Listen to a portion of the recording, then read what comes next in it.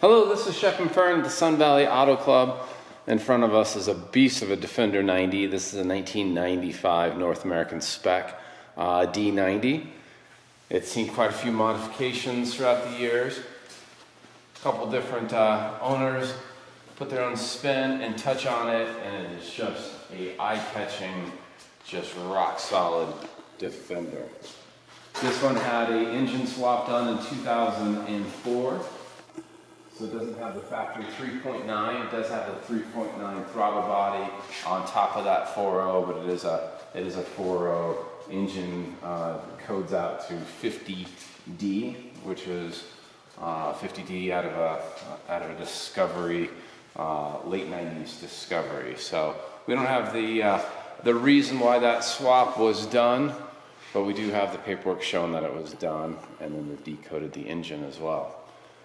So engine swap, that also leads to some true miles unknown for a couple different reasons. It looks like that was a engine swap versus a full rebuild. Of course, it was done early enough to where, you know, I mean, it's just unknown the, the condition of that engine, but it's been in for a super long time and it runs really smooth. But true miles unknown on the engine and really on the chassis the odometer, there's a, uh, uh, let's see, I have to add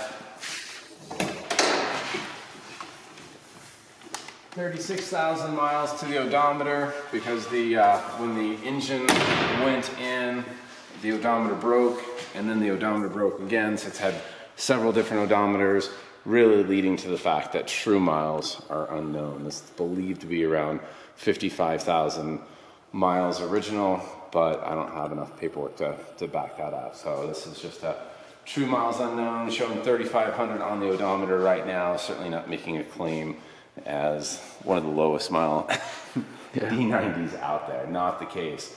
That being said, phenomenal. Let's just keep going on.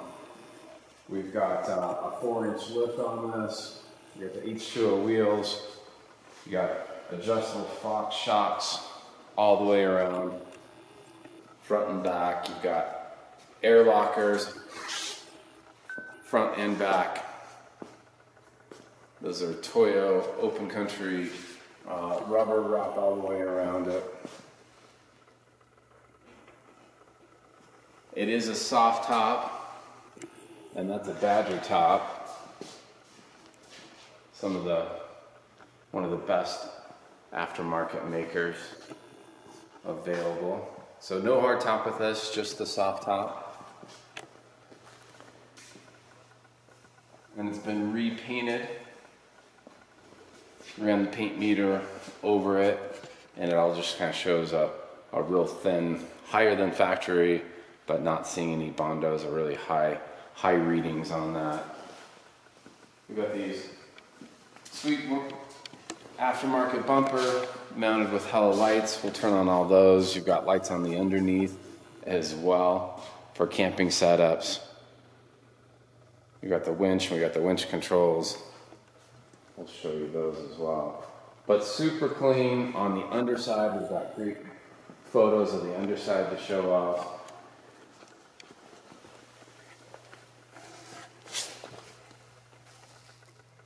We've got these nice sliders on here, rock sliders. And then if you've got kids or short people, you do have the steps as well. And then just pushing you forward to show off these seats. Fern's like, yeah, you're always pushing me around. I could use my words, but yeah, those are freshly installed. The Schulman seats, those are heated as well. So nice sport seats. Five speed manual transmission. And we've got records on that transmission uh, being replaced as well. And that is a, a quick release steering wheel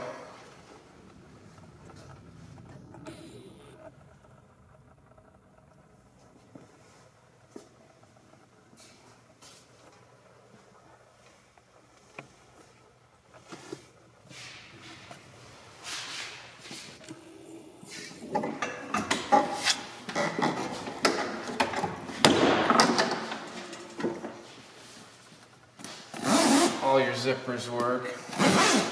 And back here is fully rhino lined. Does come with your a seat. It's a quick release seat. So if you want to throw gear dogs back here, you can do that.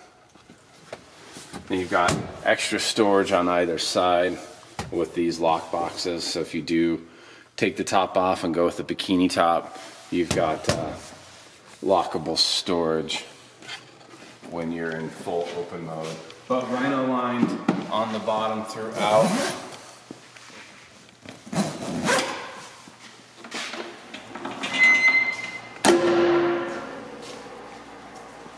Yeah, just gorgeous. There's really just not a spot if we're going around on this that's kind of a uh, gotcha. Underside is great, body's great, top is tight.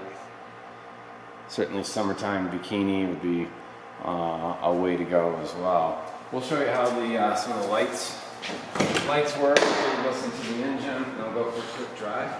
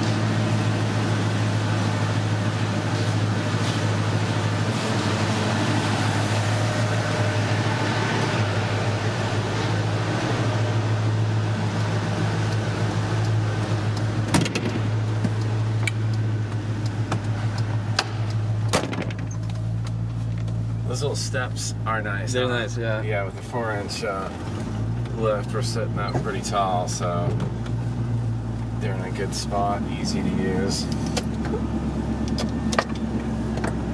Wipers worked.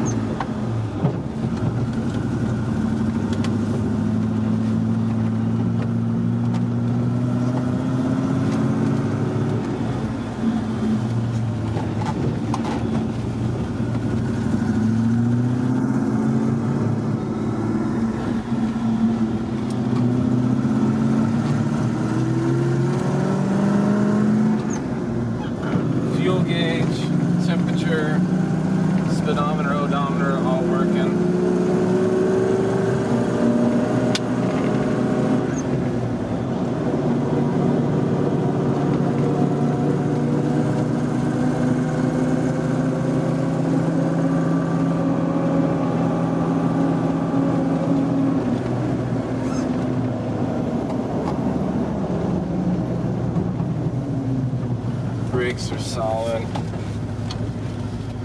You have an onboard compressor as well.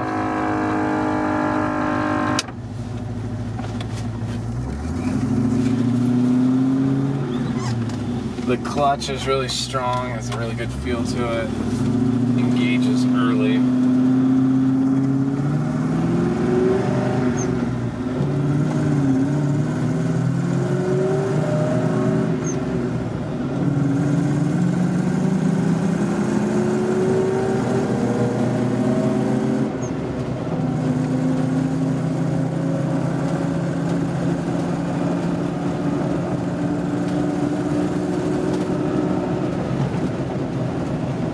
find out straight away for that fifth gear. But the shifting is really smooth throughout.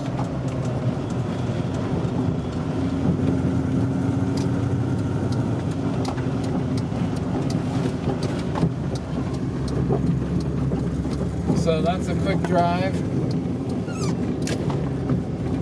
and a long walk around if you got an interest in this rig or any of our others just give me a shout. I'm Shep here at the Sun Valley Auto Club, 208 721 1973.